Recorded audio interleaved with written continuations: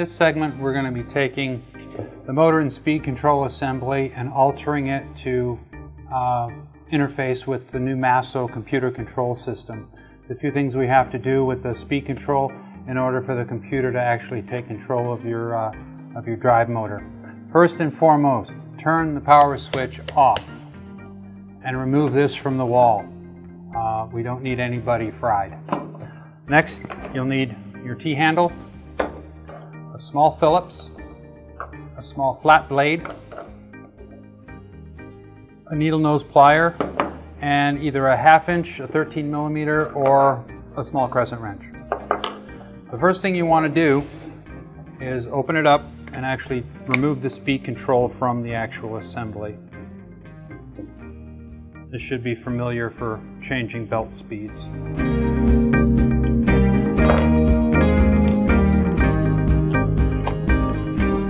What you want to do is pop the little hinges off, just like that. That allows you to get to the bottom. Take your small Phillips screwdriver and remove the four Phillips screws holding the retaining plate on. Don't lose them, they're tiny and they disappear in carpeting.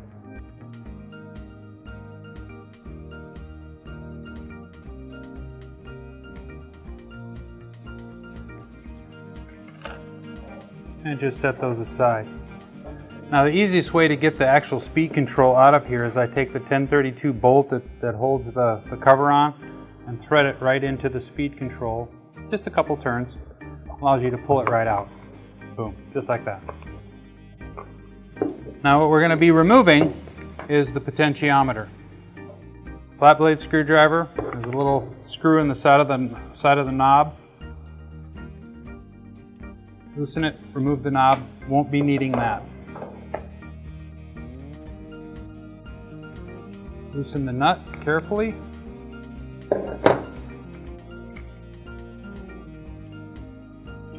And push it out. Now we have it out, just like that. And you take your needle nose plier and very, very carefully just wiggle them off. Hold on to it nice and tight and just wiggle them off so nothing gets broken or pulled apart.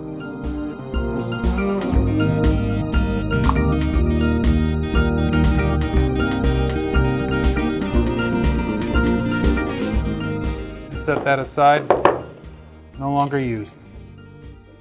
Okay, now those three terminals are labeled P1, P2, and P3. This is what goes in place of the potentiometer. This connects directly into the Masso board. These wires are very, very specific. Do not, absolutely do not mix these wires up because if you do, you will not only blow uh, the speed control, but you will do severe damage to the Masso control itself. These have to be in exact order. Very simple, black, red, and white. P1 is for the black. P2 is red.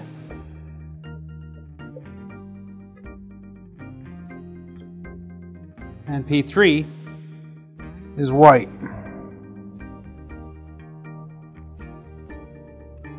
Make sure those are nice and seated. If you need to use the needle nose pliers to seat them, again, just wiggle as you push. Get them seated all the way down.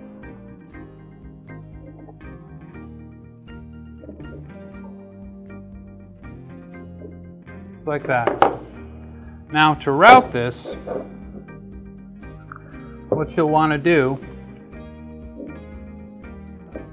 is remove the little um, cord retainer from the actual power cord and kind of get this as close as you can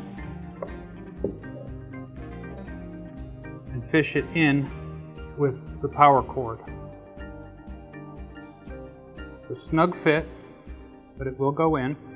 If you need to, you can use a screwdriver on the little shelf on the retainer and just push it all the way down. Only a little bit will stick out and that's fine. Then just carefully put the speed control back in. Remove the, the bolt and get your retaining plate on and make sure you get it the right side up because on the back side they're actually uh, for a flathead screw so you want to get those oriented correctly.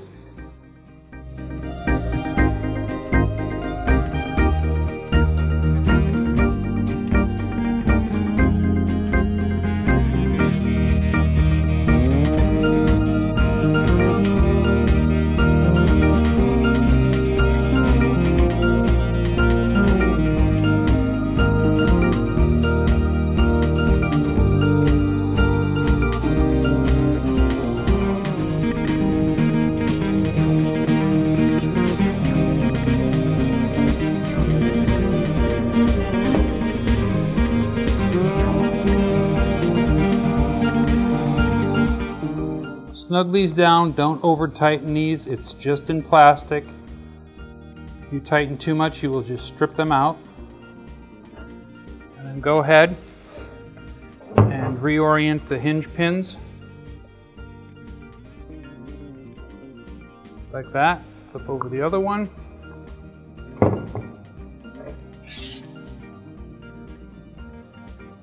Put your speed control retaining bolt back in. Tighten it down. And the finishing touch. A little button in the hole and you're done. Ready to connect to your Masso computer.